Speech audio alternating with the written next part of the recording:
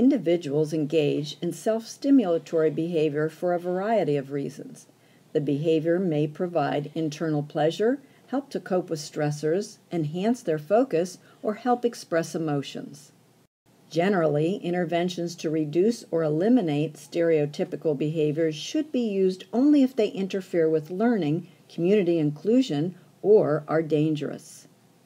Determining the function will assist with interventions. Begin by conducting observations. You can do this yourself with an ABC chart. Note when or where the behavior occurred, the behavior, and what happened afterwards. Or you may seek out professional help from a board certified behavior analyst, behavior specialist, or special education teacher. If the function is determined to be a self calming strategy, teach the use of a replacement behavior, such as squeezing a stress ball or squeezing hands together.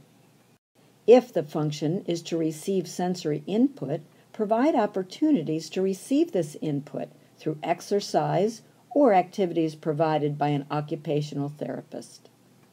If the function is to escape a demand, you may need the task chunked into smaller segments Rather than giving a full worksheet, write short breaks throughout the paper. Use pictures or words to support verbal instructions.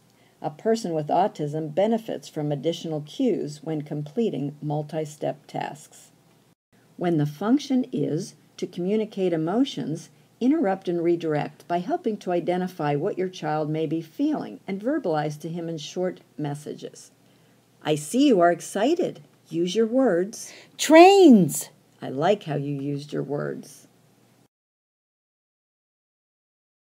Please refer to an occupational therapist or related professional to assist with sensory related needs, as further evaluation may be necessary.